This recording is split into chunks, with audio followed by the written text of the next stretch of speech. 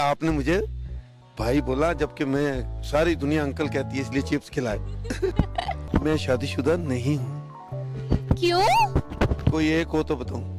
اے میں مر جاواں۔ اس کی تو پہلے پانچ شادیاں ہو چکی ہیں۔ میں جو لاؤں گا وہ دوسری شادی نہیں کرے گی۔ السلام علیکم ناظرین جیسا کہ آپ لوگ کو پتا ہے میں جلانی پارک میں شوٹ کرنے کے لیے آئی تھی۔ تو یہاں پہ مجھے ملے ایک بہت ہی دلچسپ بھائی۔ انہیں انکل کو تو ڈانٹتے ہیں بھائی کو تو چپس دیتے ہیں۔ تو آئیے میں آپ کی ملاقات کراتی ہوں ان بھائی سے۔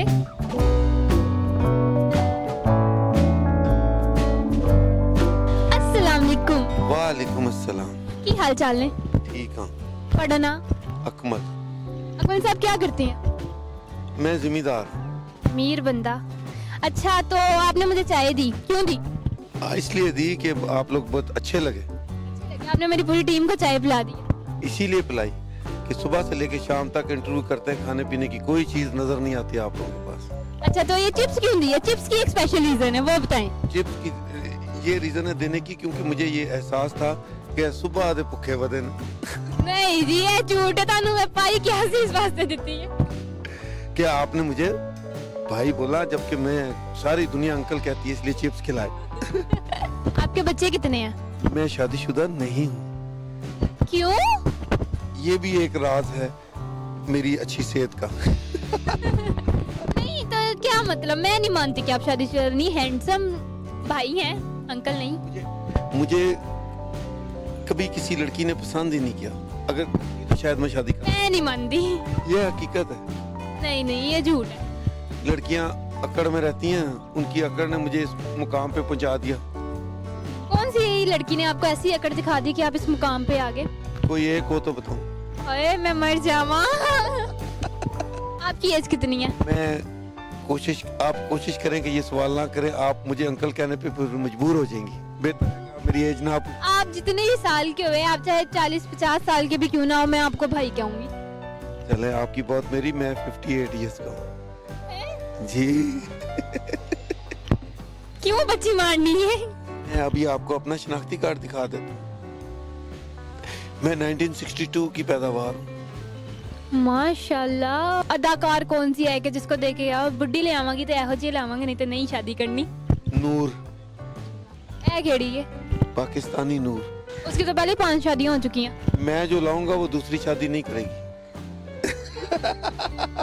عمران خان نے بھی تین شادیاں کی۔ دو شادیاں ان کی پہلی ناکام رہی۔ آپ اگر نور کے ساتھ شادی کریں تو وہ کیسے ناکام نہیں ہوگی؟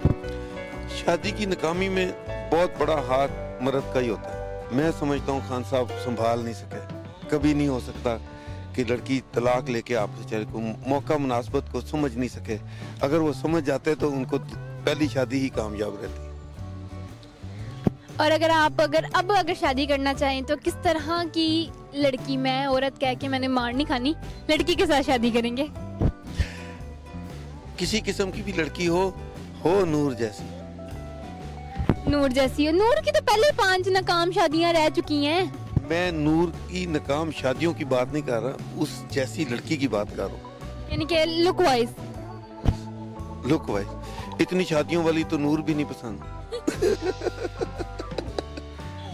میں روز نہ روڈ شو کرتی ہوں اور باہر پھرتی پھراتی رہتی ہوں۔ تو میں آپ کی ویڈیو دکھاؤں گی لوگوں کو کہ وہ آپ سے اگر کوئی خواہش مند ہو شادی کرنے کا اور جو جو ناظرین ہمیں دیکھ رہے ہیں اگر ان میں سے کوئی خواہش مند ہے اکمل بھائی سے شادی کرنے کے لیے، تو نیچے ہمارے نمبر چل رہے ہیں، کمنٹ میں ہمیں ضرور بتائیں۔ آپ سے بات کر کے مجھے بہت بہت بہت اچھا لگا۔ اچھا لگنے سے زیادہ میں بہت زیادہ پریشان اور حیران ہوں۔ اور میں چاہوں گی کہ میں آگے بھی آپ سے بات کرتی رہوں۔ جی بہت شکریہ۔ آپ سے بات کر کے مجھے بھی بہت اچھا لگا۔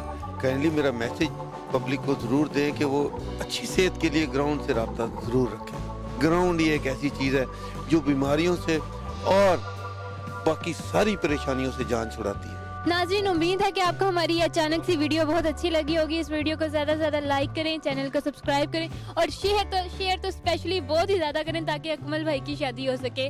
اکمل بھائی کی شادی کروانے میں اپنا حصہ ڈالیں، دعاؤں میں یاد رکھیں۔ اگلی ویڈیو کے لیے مجھے دیں اجازت۔ اللہ حافظ۔